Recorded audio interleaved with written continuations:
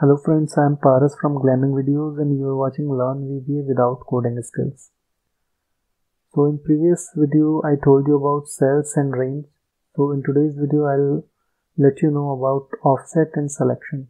What we can do with offset and what we can do with selection. These four commands are very very helpful when you when you write any program in VBA. So cells and range was very useful and offset and selection are also very useful. So let's start with offset and selection. So I'll create a new workbook.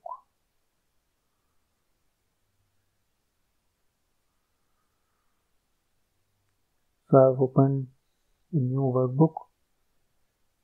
And now let me open the Visual Basic editor by pressing Alt F11. So let me remove this. I've already created a module. And now we'll create a new procedure. So sub new procedure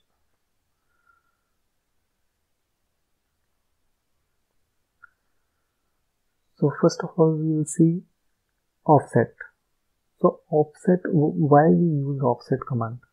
We use offset to move cursor from one position to another position. If we want to move our cursor to upside or to downside or to left or to right so we will use offset. And this command will be very helpful in your projects or in your in your VBA programs.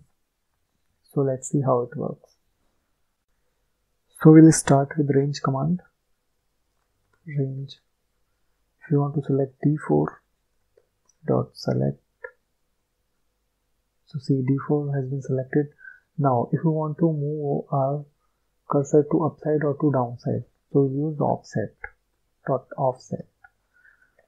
Bracket starts. So it is asking for row offset. How many rows do you want to offset?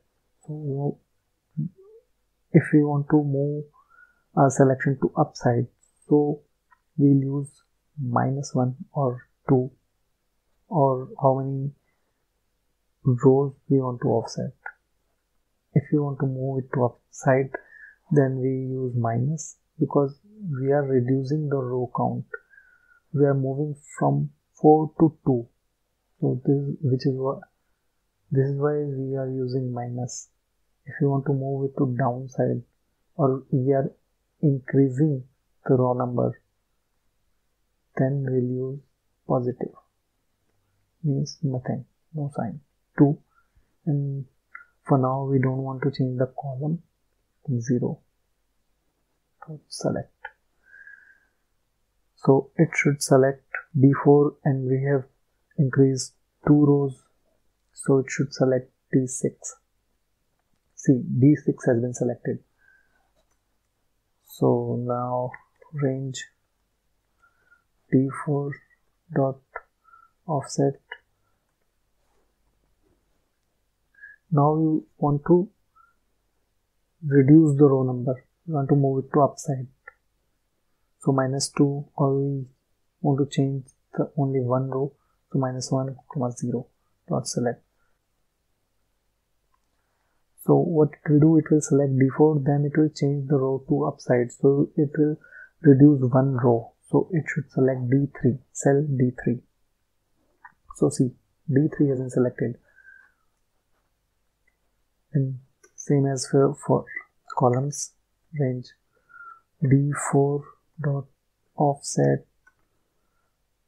Now we don't want to change the row. We want to change the column so in this case it will move to right because we we are increasing the column number so it should select e4 see e4 has been selected or if we use minus then C4 will be selected. So this is how it works. So this is offset command. We'll see more uses of this command in our next videos. Now we'll move to selection command. So what is selection? This range is selection. When we use multi, when we select multiple cells or when we select a range, it is this will become a selection. So let's see an example. Range P22, P4, B5. dot select. So see b range b2 to b5 has been selected. So if you want to perform any any formatting or if you want to write anything in these cells so we don't use b2 to b5 this this range b2 to b5 again and again. We'll just use selection because this is our selection for now. B2 to b5 so we'll use selection dot value equal to selection. So we'll not use this because we already selected from b2 to b5 in this case this is our selection. So we'll perform this action on the selection selected cells so see it has been changed to selection. Or if you want to change the color of the selected cell then selection dot cells dot interior dot color is equal to VB red.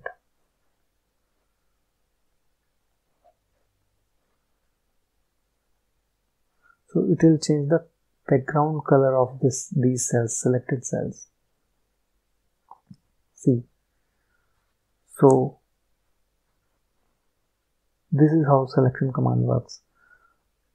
So now I've told you another command to fill the change the interior color of the cell or selection. You can use this command cells dot interior dot color. So this is a very small use of selection command. There are other uses as well which we will see in our next videos so let's see one more example. How will we use range with the selection? So let's delete this. Now if b2 is selected so if we select cell b2 and we press control shift down.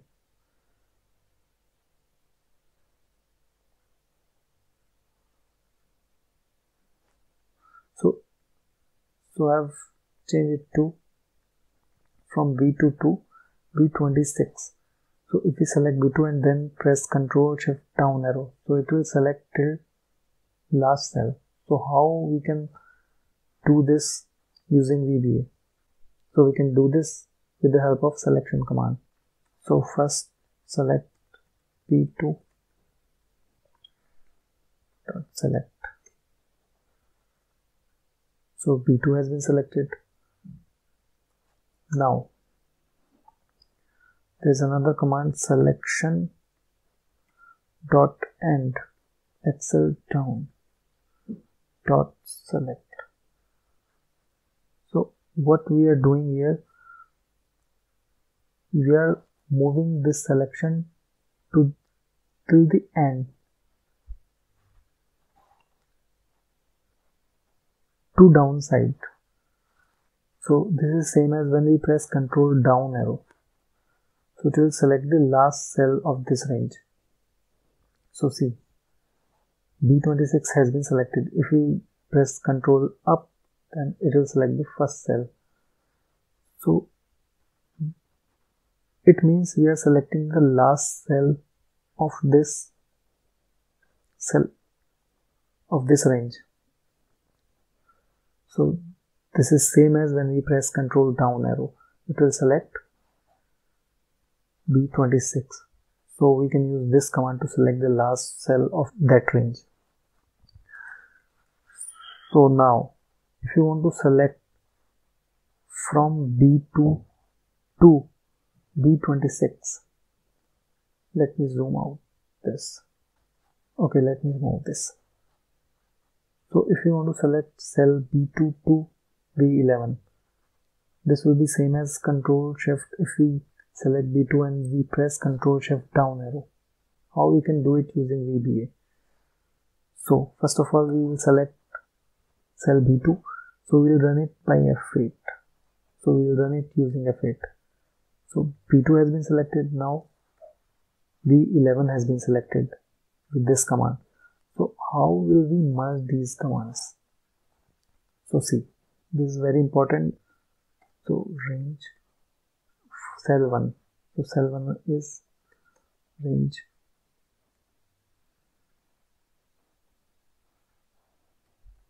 so range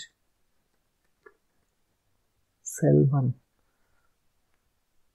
so cell 1 will be our range b2 comma cell 2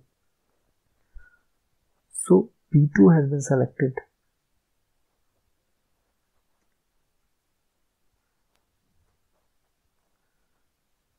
So b2 is already selected because we have used this command.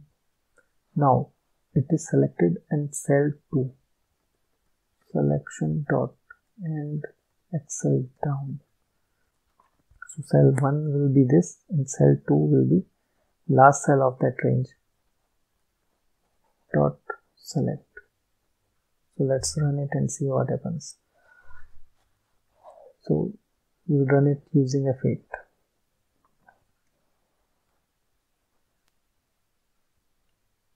oh sorry.